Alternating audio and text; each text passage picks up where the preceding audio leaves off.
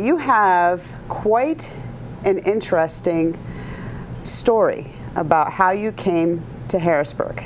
You started in education. Yes. And then you worked a bit in, well, you, you tell, you tell your tale. Started in education, Mm-hmm. worked in the public schools in the Octorara School District. Okay. And then uh, after my children were born, I started working with a nonprofit at the United Nations focused on health and environment issues, an educational uh, nonprofit NGO, and still work with them, and also uh, work in, in helping my husband with our business, town planning and landscape architecture. So the environment, Environment, yes. very important to you. Very important to me, yes. Education, very important to you. Very much so.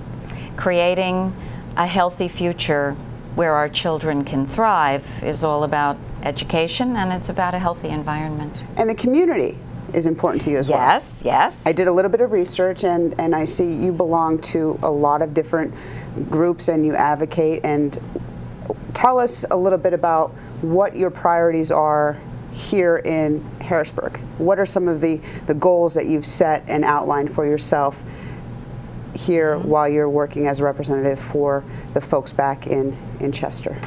Well, certainly um, why I'm in Harrisburg and what I want to accomplish here has a lot to do with being a borough council member for four years in West Chester and then mayor um, for the past seven plus years. And I became very much aware um, through working with uh, residents not only of the borough but the surrounding townships which are now which now make up the district that I represent. Um, the importance of education, the importance of uh, environmental issues uh, as another priority, uh, common sense gun legislation, public safety. Uh, people want to feel safe and they want to be safe in their communities. Um, I, I have become very much aware of the opioid epidemic and the uh, impact that it has on individuals and families in the community.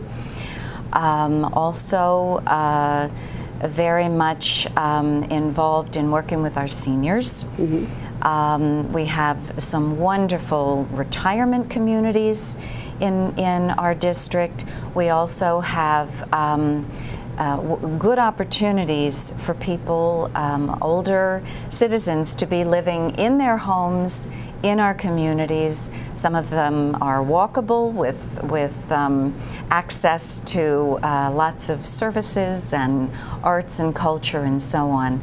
So we have uh, a lot of opportunities for the, for our senior citizens, and uh, West Chester has been named a World Health Organization age-friendly community, and also recently recognized by AARP as being an, an age-friendly community and a place for people to live as we age. Well, you're, you're glowing with pride as you Yes, talk about very much so. the people that you, you're here to represent. And why don't we let people at home know how they can get in touch with you? Yes, we're planning an open house. Our district office will be opening in early March and an open house in early spring.